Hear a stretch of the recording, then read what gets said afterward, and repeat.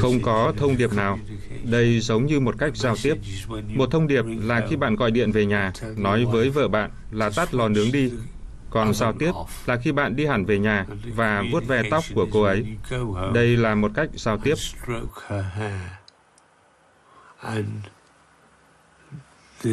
Chúng ta nhận thấy sự thay đổi trên chính tay mình. Nhưng trong văn hóa của chúng ta, chúng ta lại muốn một thông điệp rõ ràng. Ai đã làm ra những điều này? Tại sao? Họ từ đâu đến? Họ muốn nói gì với chúng ta? Chúng ta có lẽ không nhận ra rằng có lẽ họ chỉ muốn vuốt tóc chúng ta mà thôi.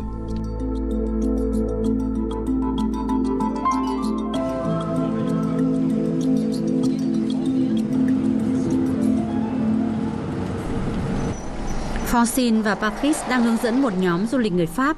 Những người này tin rằng ở đây tồn tại một thông điệp cần được hiểu.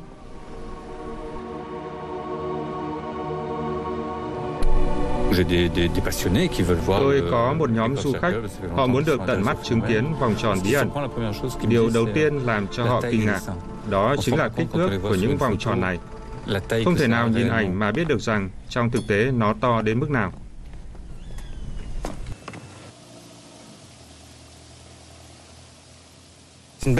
Đây là một vòng tròn bí ẩn tuyệt đẹp với biểu tượng tuyệt vời của ngôi sao năm cánh. Tôi không bao giờ có thể tạo ra được, dù chỉ một mảnh đẹp đẽ đó.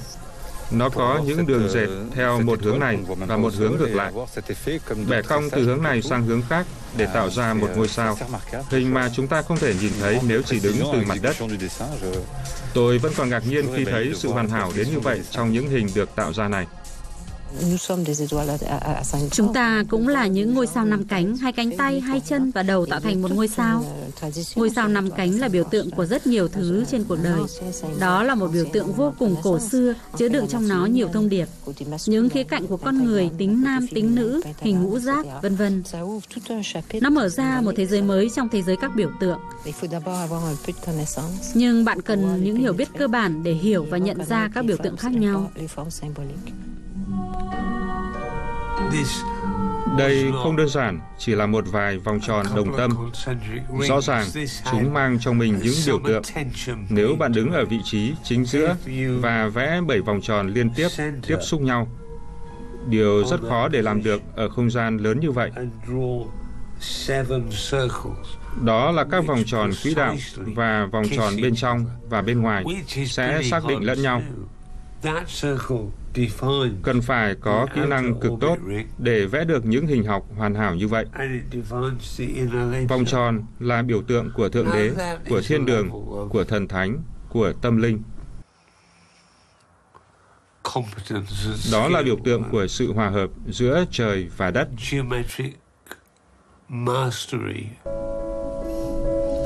Đối với Michael Glickman, những vòng tròn bí ẩn luôn liên quan tới các ý tưởng, sơ đồ, công thức toán học, số pi, những tỷ lệ vàng, lý thuyết hình học phức tạp như mệnh đề Euclid. Và chúng ta quá thiếu thông tin để có thể hiểu được những điều đó một cách đầy đủ.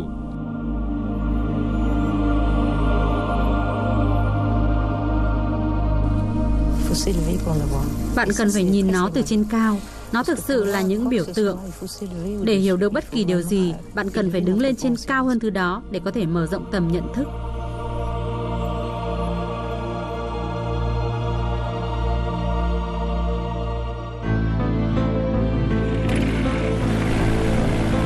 Bay lên trên cao. Đây là điểm mấu chốt của tất cả những người săn tìm vòng tròn đồng ruộng, cả về nghĩa đen và nghĩa bóng. Mỗi một du khách sẽ được bay trong vòng 20 phút trên vùng nguyên sai.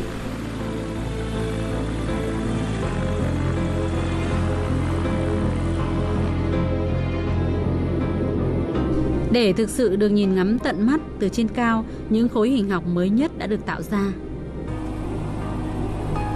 Nous le groupe Nhóm của chúng tôi đang sống trong một khoảnh khắc hân hoan khó tả.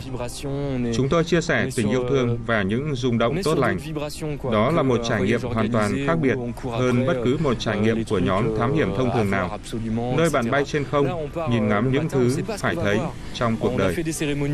Chúng tôi đã bắt đầu hành trình vào buổi sáng mà không hề biết chúng tôi đang tìm kiếm thứ gì. Chúng tôi đã có một hành trình thực sự sâu sắc, thiêng liêng và thú vị.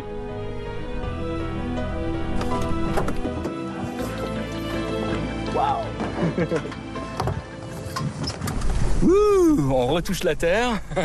Vậy là đã phải quay về mặt đất rồi. Sao hành trình này không thể dài hơn nhỉ? Tuyệt quá. Xin cảm ơn. ok, merci beaucoup. Con người có lẽ có sự kết nối với hiện tượng kỳ lạ này. Có thể là kết nối với người ngoài hành tinh, với những người anh em của chúng ta đến từ những vì sao, những người muốn gửi lời xin chào tới chúng ta.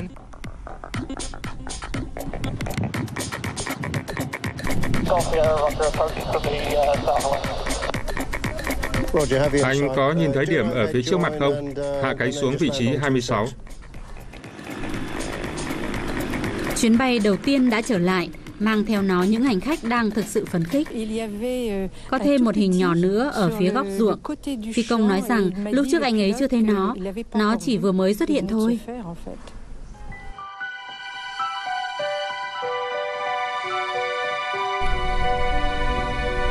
Chúng tôi bay đến tận 7 hay 8 giờ tối, rồi sáng hôm sau chúng tôi bay trở lại. Những hình học mới đã được tạo ra. Tôi không biết làm thế nào chúng có thể xuất hiện nhanh chóng đến vậy, trong khi mùa hè trời đêm chỉ kéo dài khoảng 5 hay 6 tiếng. Điều đó thật là kỳ lạ. Anh ấy vừa mới nói là ở đông nam Long Barrow. Vâng, tôi vừa nhìn thấy một hình mới xuất hiện. Nó đẹp tuyệt. Bạn có muốn biết chỗ hình mới ở đâu không? Có chứ. Tôi sẽ chỉ cho bạn ở trên bản đồ. Một cái mới xuất hiện vào buổi sáng nay. Đúng thế, nó ở ngay đây. Bạn biết về chúng chưa? Nhưng chúng ở đâu? Tôi không biết hiện tại tôi đang ở đâu nữa. Để tôi chỉ cho bạn. Vào buổi sáng hôm đó, nhóm người Pháp đã tìm ra một vòng tròn bí ẩn nhỏ hơn mà chưa được biết đến. Nó nằm ở ngay gần khu vòng tròn lớn.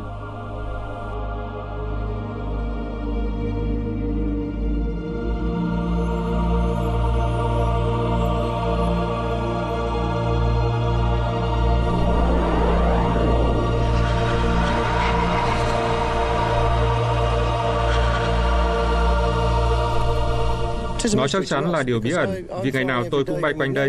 Chúng tôi không hề nhìn thấy ai đã tạo ra nó. Tôi biết có nhiều đội đã được cử đi tuần suốt đêm để tìm ra ai đã làm ra những vòng tròn, nhưng họ không bao giờ gặp người nào. Thật khó để tin chúng do con người tạo ra. Làm thế nào chúng xuất hiện ở đó được? Từ cách đặt vấn đề của Philip Ulen, một số nhà địa chất học đã so sánh sức mạnh tạo ra vòng tròn bí ẩn là sức mạnh của sét. Giống như thể có ai đó đã sử dụng sét để tạo ra những vòng tròn đó. Có lần một người nông dân đã nói với tôi rằng có khi phải mất 10 năm để những dấu vết của các vòng tròn bí ẩn biến mất hoàn toàn, bởi vì sức tác động của trường năng lượng trên mặt đất là vô cùng lớn.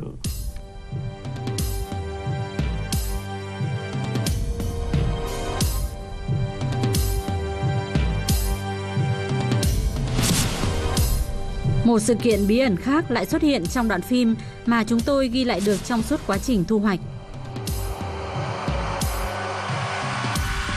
Sau khi máy gặt đập liên hợp đã thu hoạch mùa vụ xong, những đường ray hình chữ nhật kỳ lạ đã hiện ra trên mặt đất. Tôi chưa từng bao giờ nhìn thấy chúng trước đây, và tôi đã nhìn thấy một số thước phim kiểu này. Đây chính là một phần còn sót lại của vòng tròn bí ẩn đó. Trong mắt tôi, tôi mới chỉ theo đuổi việc này trong một phần tư thế kỷ qua. Vậy còn những gì trước đó mà tôi chưa biết? Có thú vị không khi phải chấp nhận rằng chúng ta không biết điều gì đó? Chẳng có gì khơi gợi trí tò mò của chúng ta bằng những thứ mà ta không thể hiểu. Tôi thấy những vòng tròn bí ẩn này thật tuyệt đẹp và tôi sẽ rất buồn nếu chúng không xuất hiện nữa. 2 đến 10% số lượng những vòng tròn đồng ruộng này vẫn không thể lý giải được. Có lẽ chúng ta phải chấp nhận rằng không phải mọi việc đều có lời giải đáp, hoặc có lẽ chúng ta nên có một cái nhìn cởi mở để chấp nhận rằng có sự sống ngoài hành tinh. Hiện tượng này đã vượt quá tầm hiểu biết của chúng ta. Chúng ta có lẽ không cô đơn trong vũ trụ này, chưa từng bao giờ cô đơn và có lẽ cũng sẽ không bao giờ cô đơn. Những điều này có ý nghĩa gì? Theo tôi thì nó nhắc nhở chúng ta nhận thức rằng Chúng ta phải chấp nhận, chúng ta không phải là số một trong vũ trụ này.